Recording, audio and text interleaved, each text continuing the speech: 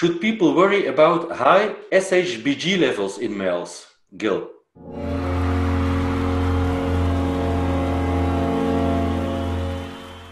Well, that's a good question. In and of itself, it isn't necessarily detrimental. When you say high, right, that doesn't define specific metrics. That is just kind of saying, well, it's above normal. But what is normal? So women tend to show higher SHBG levels than men. People in certain cultures who follow certain nutritional regimens tend to show higher SHBG levels than most Americans. And we know that insulin has a direct antagonistic effect on SHBG levels, and that's evident in type 2 diabetics or people with insulin resistance. So, elevated SHBG far above the physiological ranges of norm, or even within the range of norm on most labs, when it tends to shoot towards the higher end of the peak, is usually indicative of either a lifestyle or a liver issue. So, while in and of itself it isn't necessarily detrimental outside of the uh, obvious, which is binding up more testosterone and therefore lowering free T, it can be indicative of a more serious underlying issue. So it's very important that people assess that issue and don't just go and try to crush your SHBG, but use it as an opportunity to figure out what's causing it in the first place. Now, if this is a ketogenic lifestyle or a diet that is lower in carbohydrates or a suppression of insulin that is intentional and controlled, this may be one underlying factor.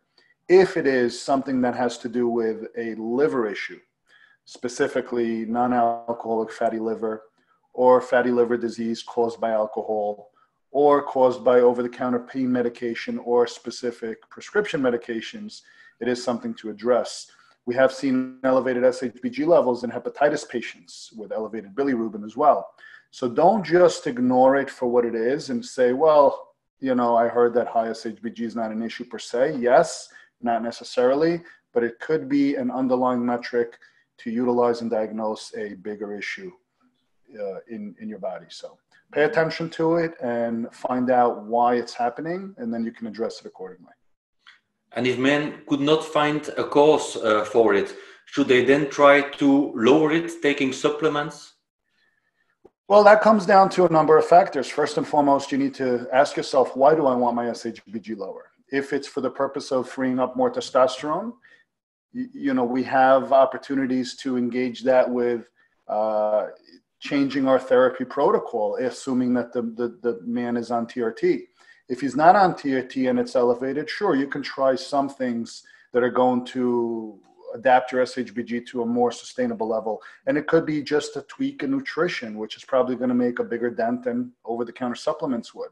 If you're not on treatment and you're going to start using medication to lower it, understand that a lot of the DHT derived uh, medications that are essentially going to have the biggest impact on SHBG are also anywhere from mildly to grossly suppressive on your HPTA. So you may actually lower your total testosterone production while trying to chase free testosterone at the same time. Uh, so it's not always a clear cut answer. You have to approach this a little more individualistic and kind of assess what the specific situation is before you can uh, plan an attack on it. And what could men tweak to their TRT protocol if they're on TRT with a high SHBG?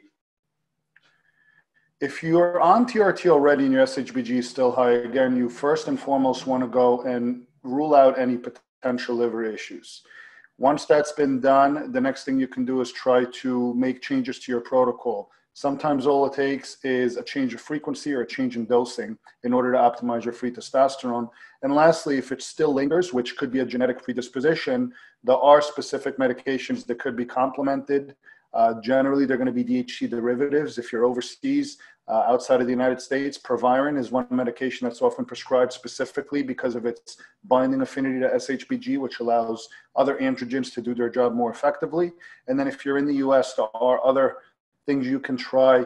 Um, I believe danazol is one that is rarely used, but it's, uh, and you have to double check on that because I don't have a whole lot of experience with that medication, but I have seen it used uh, in the past in other uh, applications. And then naturally, any of the DHT derivatives, which degree of hepatotoxicity. Um, the proviron is one of the few that is not um, liver toxic, and that is one that could be used at a moderate dose uh, for longer periods of time. Unfortunately, the FDA has not approved it for use in the US, and therefore, uh, I have seen this on low dose oxandrolone get good results on uh, stabilizing their their DHT increase, their SHBG decrease, and therefore freeing up more testosterone. But again, you have to be careful. It is dose dependent. It will do a number on your lipids.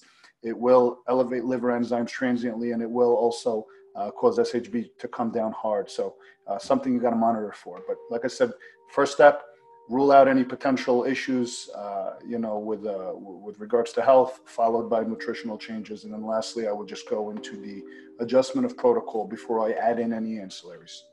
Okay, thanks. Hey, thank you for watching. And if you want to learn a ton more about hormone optimization, do this next. Click on one of these thumbnails and I'll see you there.